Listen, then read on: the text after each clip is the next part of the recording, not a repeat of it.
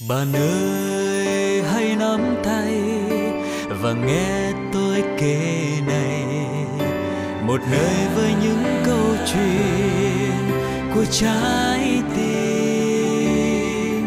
Đặt vào đó thân yêu ước mơ, thật nhiều ước muốn hy vọng. Tình yêu đẹp tươi, sẽ cho ta niềm tin. Cùng tôi đến gieo mầm xanh tỏa bóng mát tâm hồn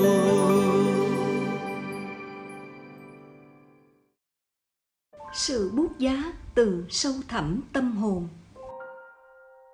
Bão tuyết bất ngờ ập xuống ngọn núi cao, nơi có đoàn khách du lịch thám hiểm đang ở đó, và trong đoàn có một nhóm bảy người khách bị lạc đường.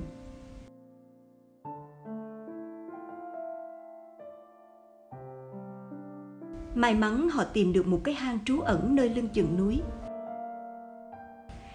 Trong hang rất tối và lạnh lẽo, vì thế mỗi người phải đi kiếm củi để mang về đốt, sưởi qua đêm, chờ sáng mai cứu hộ tới giúp.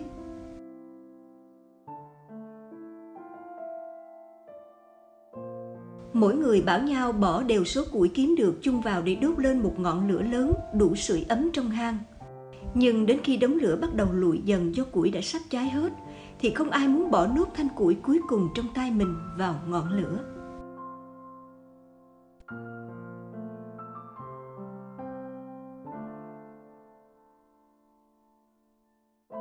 Hừm, trong nhóm này có một gã da đen sao? Sao mình phải đốt lửa cho gã ta sưởi chứ? mình mà không ném thêm củi vào thì chết rét mất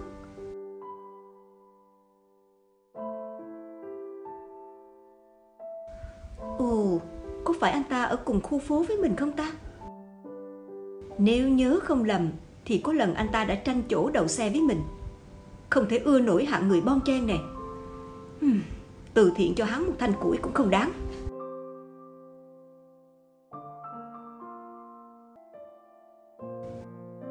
Tại sao mình lại phải hy sinh thanh củi để sưởi ấm cho kẻ giàu có kia?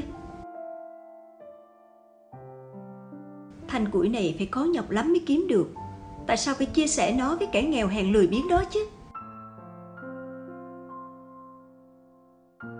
Nhất định mình sẽ không dùng thanh củi cuối cùng này sưởi ấm cho bọn da trắng khốn kiếp kia.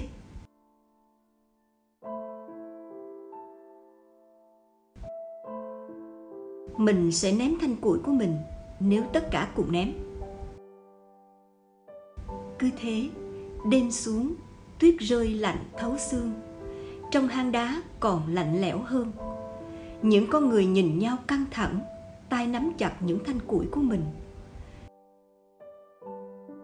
Đống lửa chỉ còn than đỏ, lụi dần lụi dần, rồi tắt hẳn.